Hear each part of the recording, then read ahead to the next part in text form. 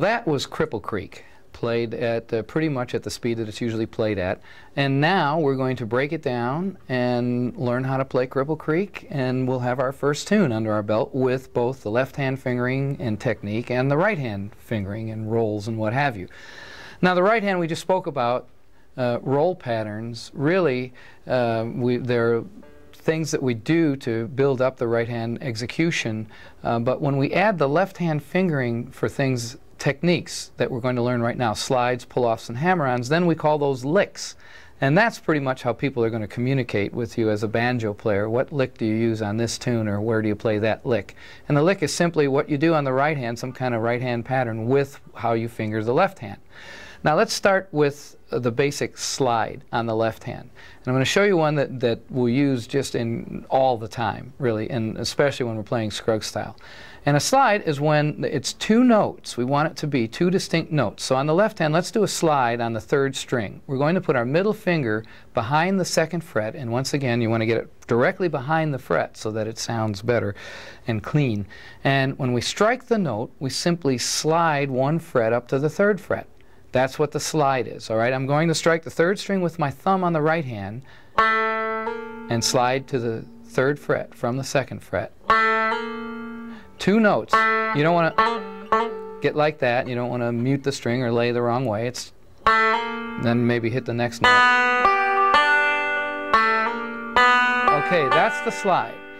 The next main technique that we see all the time with the left hand is a pull-off. And that is simply, we'll do that again on the second fret of the third string. We finger the string at the fret, strike it with the right hand, in this case I'll strike it with my thumb, and pull I'm pulling off. I'm pulling from the second fret of the third string to open, and I'm pulling towards the second string. Now, at first, when you do this, you'll be kind of getting hung up a little bit, hitting the second string and what have you. So it does take practice. You have to sit there for about 800 hours and just do that, where there are two distinct notes. As you play, the more you play, the more you'll build up calluses on your fingers as well, and that will help. Scruggs used to say, get it behind his fingernail maybe, and pull off.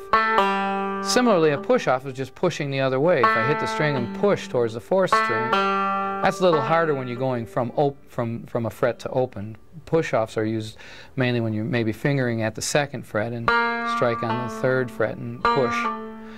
So we've got the pull-off, the push-off, the slide, and uh, actually the one other technique is the hammer-on. And I'll do that. That's where you strike the string and hammer on to a fret. So I'll strike the fourth string with my thumb, and hammer on to the second fret. All of these techniques mean that you are making two notes out of one hit with the right hand. You don't, you're not going for the slide. You're going. So you want to make sure you get these techniques very cleanly and so that we can hear the two notes because as you speed that up, that will get lost if you don't do it clean and very properly.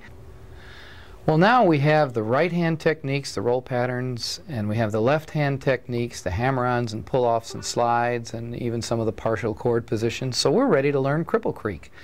And we'll do that by thinking of our count. Uh, a big thing that we have to know when we start these tunes is where the tune comes in, on what beat. So Cripple Creek happens to come in on the off beat, the two and. And we're going to place the ring finger on the left hand on the second fret of the first string, okay?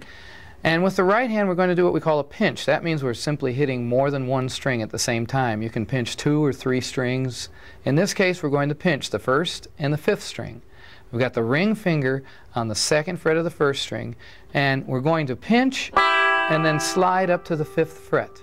We won't be striking the first string again at the fifth fret, so we want to make sure that that's a very clean so we hear the two notes that I spoke about before when we slide. So we've got that second fret, and if we're counting one and two and one is when we get to the fifth fret of the first string.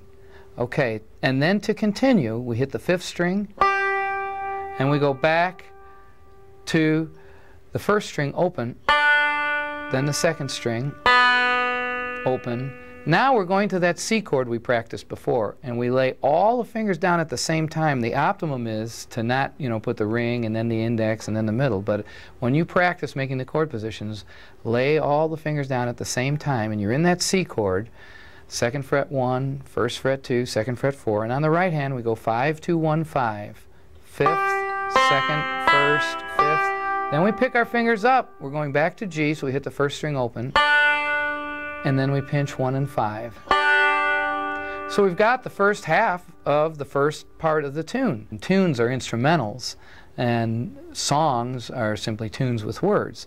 And so, in the same way that we talk about songs with a verse and a chorus, with the instrumentals, we name the parts A part, B part, C part, whatever. So, Cripple Creek has an A part and a B part. We have just played through the first half of the A part of Cripple Creek.